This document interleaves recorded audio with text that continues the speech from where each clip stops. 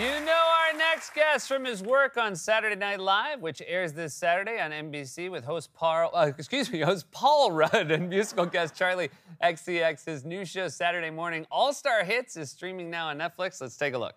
Welcome to Smash. I'm Skip. And I'm Trebor. And we're We gotta get back, because we can't miss an all-new Strongimal. Yeah, because I do a voice on it. Oh yeah, that's that's this week. Yep.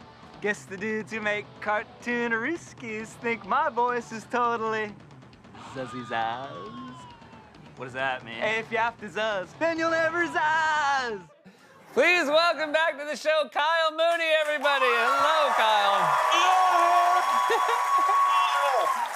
Kyle, I I say this so sincerely. I've always felt like you're someone, whenever you do something on SNL, I feel like, oh, you have such an authentic and voice that is true to you. And yet I have never seen anything that is more hyper sent like hyper specifically Kyle uh, Mooney than this show. You must be thrilled with how it turned out.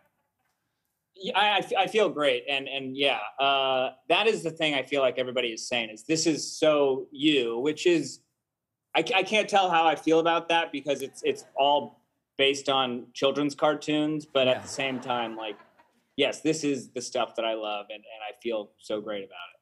I mean, it's it's basically you play twins who are hosting a Saturday morning cartoon block, and they are 80s and 90s cartoons that again are so. It's an homage, right? I mean, it's safe to say these are the things you love deeply. so much I, I like I, I- I do think it's it could be an issue i mean like this is my life this is and the whole sh- the, the show is presented as if it's taped off tv so you're getting like commercials and news clips and i play all of these characters we got to make these cartoons but seriously this is the stuff that i, I feel like i've been studying for this since 1988 or something like that Now, was this a uh, case where you had to go back and try to remember what those cartoons were like, or have you been watching them uh, continuously into adulthood? No, no, no. I, I, I do every day. I, I have a pretty massive VHS collection, actually, and like this is. Well, I mean, I, This is your VHS collection. For people who Yeah. think you're like lying, these are like actually. You have, uh, and you will just have people over, right? Fellow castmates, friends in, in New York, and say, "Hey, you just you just grab a tape, my friend." Yeah, well, I mean, like you and I overlapped. Uh, Do you remember that? I do, yeah, of course. Yeah. Great, by the way, just to be around you. Um, but yeah, my first year, I don't know. How would you describe Saturday Night Live as as a job?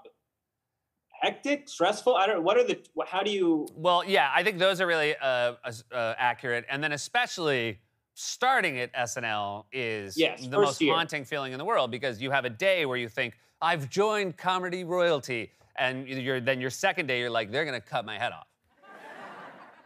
Yeah, I love saying that too. Just the whole joining comedy royalty line. Um, but you're right. It only it only lasted for 24 hours. Um, but yeah, no, like uh, my first year after the after parties on Saturday nights at like you know it was like 4:30, 5:30 in the morning. I would typically have some friends from the show come over, and uh, and we would just I, I would say pick anything off the VHS wall, and we would just smoke hookah and then watch like Rainbow Brite or something Yeah. like that. And and that was the only thing that could make me feel good. Yeah. You uh, last time you were here, um, you brought a bag full of VHS uh, tapes, uh, just to give us a sense of the flavor of, uh, of your work, of your uh, library, Yes. as you like to say. And Yes. um, as, yeah. So I'm going to just pull these out. Thank you for sending these over. Um, uh, this is the perfect bag for them to be I, in. I, and I, I will say, Seth, just so you know, most of my tape, the tapes you saw in that photo, those have all been moved to Los Angeles, basically. So now my apartment in New York is empty, but I will open up drawers or cabinets and still find leftover piles of VHS. There's just too, I, there's too many, and uh, it's always it's it's it, it it doesn't make me feel great about who I am, but Yeah. uh, but I wanted to show you what I have, and truly like this was on like Tuesday night. I opened up my cabinet, and these are some of the things I. all right, so tell us a little bit about um, uh, the miracle of the staircase. Yeah, that's just a really good movie about that spiral staircase. Um, So bas- the cover is kind of giving a lot of it away. Yes, uh, and so I do feel bad for the audience. Maybe you should put it put it away now because that, yeah, once you get to the, it's a good movie, guys, and you're gonna want to see it. Well, this one, all right. Well, so this one, uh, this is, I guess, an instructional video. This is, uh, what's this one here? Kittens to cats. Again, something I feel like everybody already knows. Yeah. I want Um, everybody to picture who you think uh, the the woman who stars in this is, and then tell me if you thought it was her. Ann Childers, Ann Childers. one of my one of the greats. Ooh.